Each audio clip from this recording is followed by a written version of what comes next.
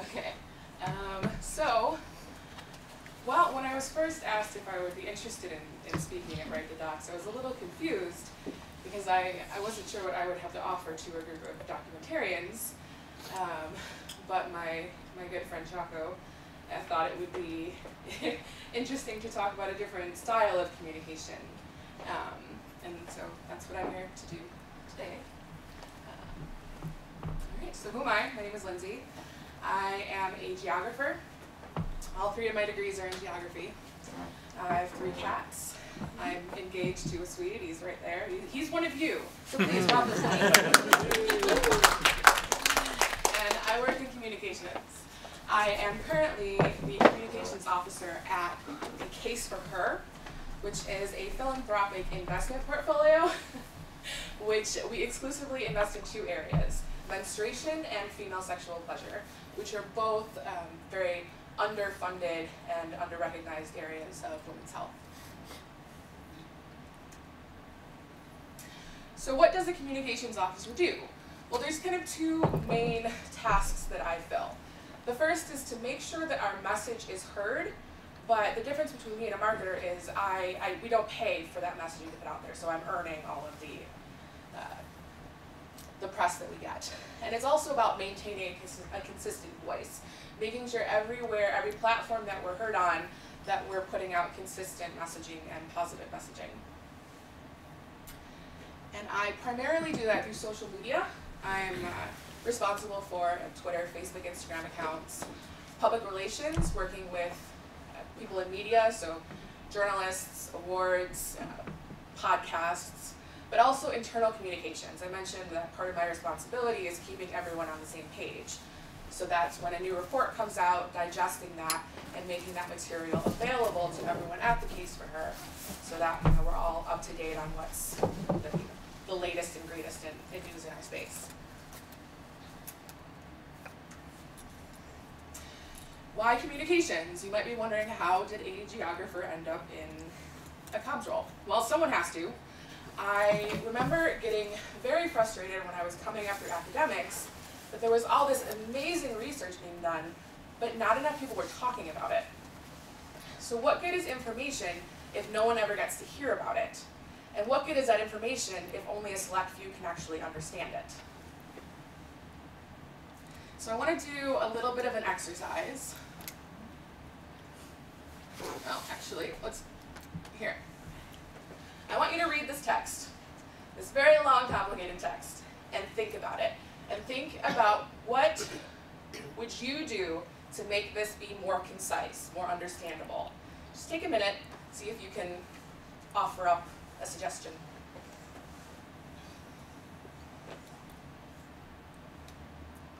Replace it with a picture. That's an option, yeah, you know. Yeah. Uh, the bullet point uh, will make more sense. Yeah. Please add a heading. Under a heading, sure. Take out any sort of um, industry-specific words or replace them with whatever you want Absolutely. Does anyone want to take a shot at making this a little more simple? I assume cartographic material is maps. Mm. well, why don't I show you what I did? yeah. Okay.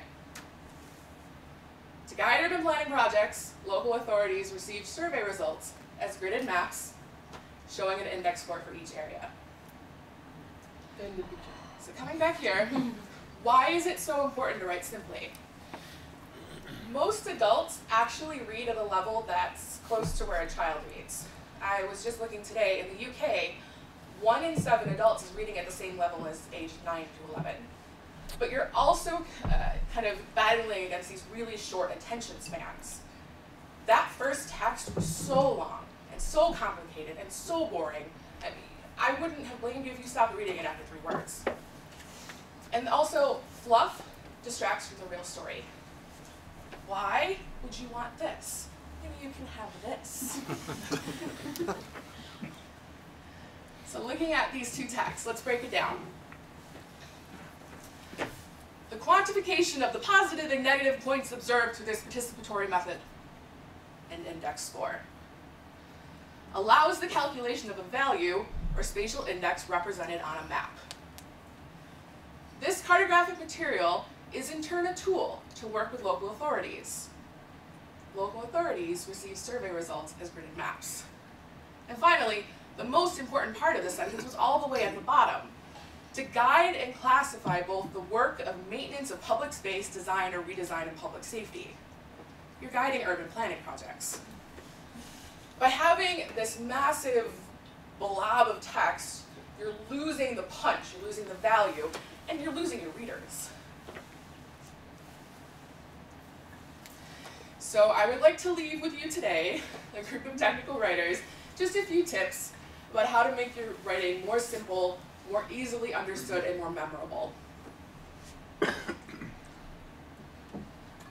Keep it simple. Say what you must, nothing more, nothing less. Career Girl was an important factor in why I decided to join, which was probably true for many of you today, but also true, I joined to advance my career.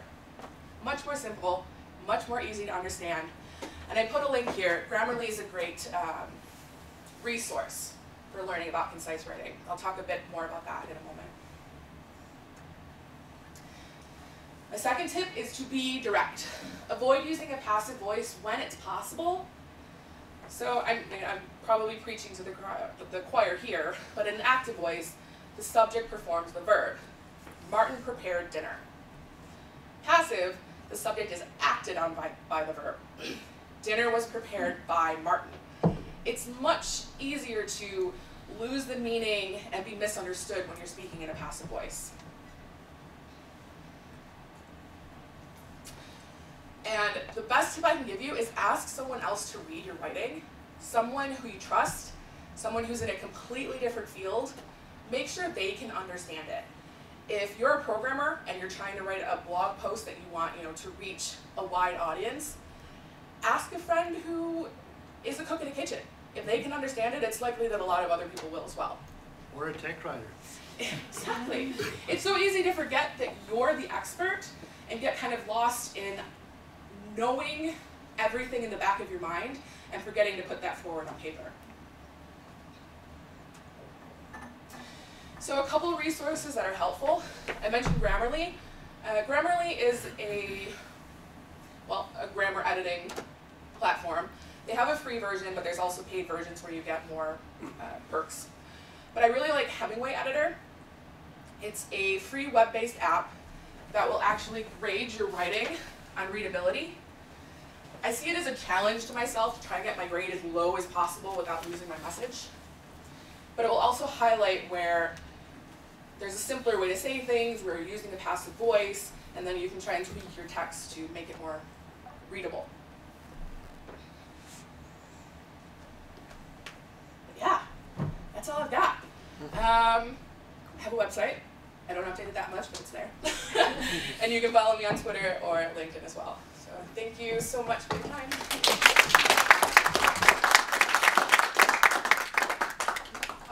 Any Questions? Yeah. So do you do you write differently for different channels? Absolutely. Um, especially on social media because each platform tends to have a slightly different audience. If I'm writing copy for Instagram, I mean that's kind of where our friends and our family and our like really close partners are. So it's a bit more, you know, fun and personal than if I were writing on Twitter or on LinkedIn, where we're really kind of getting down to, to business. So it's really, you have to know your audience very well. What's your biggest challenge? Um, well, I, so currently I'm working in, uh, in an, an investment portfolio, and that's not my background at all, so I mean, it's, it's always learning is, is a challenge, but that's the fun part too. yes. One question I have about uh,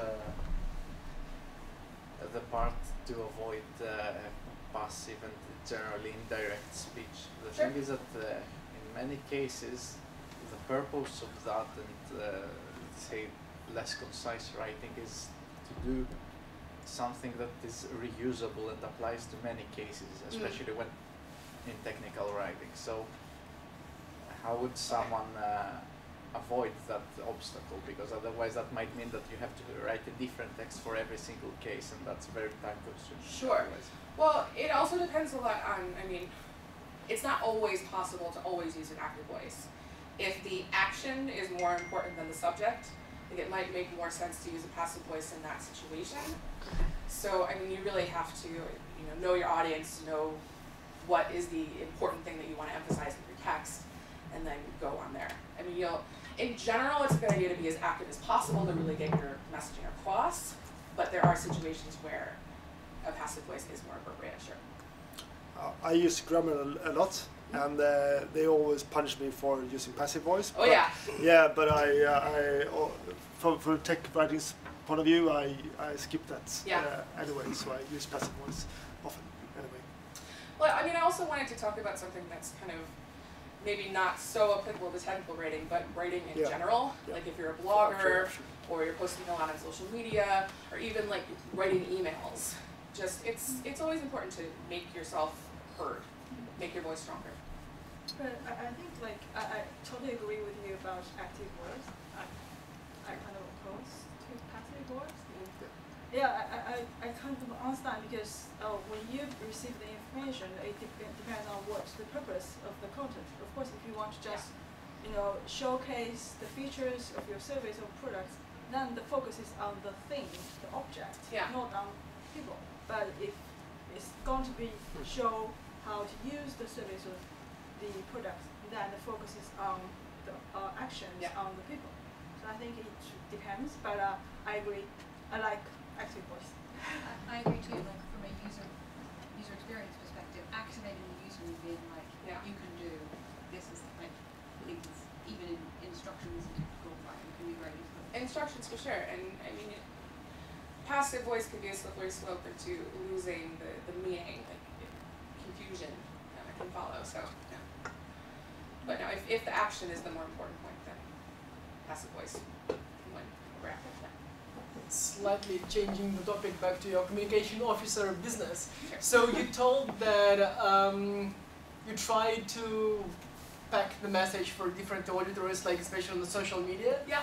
But as a communications officer, you sort of have to ensure the communication is persistent. Yes. And so how do you both make it different but make it persistent? Mhm. And, Well, I guess that's where the documentation would come in for me, uh, because uh, a part of the the role is to develop kind of these key messages that you always want to get across, or things that are really, really important to to your organization or to your business or or to your partners and customers, and then sticking to those, but then adding the stylistic flair for the different platforms. and how many key messages do you have, for example, right now? Is it like two, three, one? Well, it, it also depends. So we have two different portfolios. We have the menstruation and the, the sexual pleasure portfolio. So there's key messaging involved in both of, of those portfolios. Um, and then it, I mean, they, they change constantly as well. And it's uh, being developed uh, kind of as we speak because this is a relatively new company for me. I just came on board. So that's also the fun part is Cool. developing our messaging and putting everything forward and you know deciding what's really important and what we really need to focus on. Uh, you talked about uh, as a communications officer, uh, uh, reading new reports, Mhm. staying on top of the game, and spreading the wealth, sharing this knowledge. Yeah. Uh, could you talk some about the benefits and maybe challenges with that?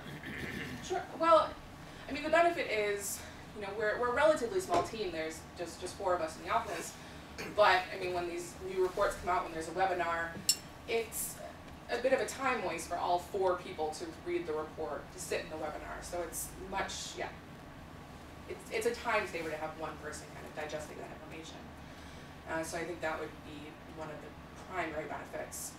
Um, but I mean, the challenge is the same as putting information forward to anyone. It's, it's presenting it in a way that's understandable to everyone, because we all come from very different backgrounds. Said with geography, but we have you know someone who's been involved in, in women's rights primarily and more politics. Uh, we we have a, a technical writer actually, someone who was uh, involved in finance. So it's finding a way to, to make the messaging yeah, impactful and, and understandable by everybody. That's a particular aspect of your job? How important would you say that it is for Oh. you? And how time consuming is it for you? Uh, it's the, the most important part. I mean, in, in every aspect is is making sure that you're as widely understandable and approachable as possible. Um, it's kind of my favorite part. Like I love taking these technical texts and breaking it down and making them understandable. I mentioned it's a bit of a game for me to get the grade as low as I can on Hemingway and still have my messaging there. Um, but yeah. sorry, uh, did I answer your question? I kind of got lost on a tangent there. and also, I mean, is it something that you spend a lot of time on? I mean, your workplace. Is, is it uh, is it very important for you at your current place to actually I mean, prioritize your resources in that direction? To spend Sure. the time digesting, finding new stuff. Yeah, well, there's help for that. I mean, you can set Google alerts, and there's different platforms that do media monitoring for you. Um, but then it's, you know, kind of glancing through and doing a bit of power reading to, to pick out what's the most important and what would have the most impact at that moment, yeah.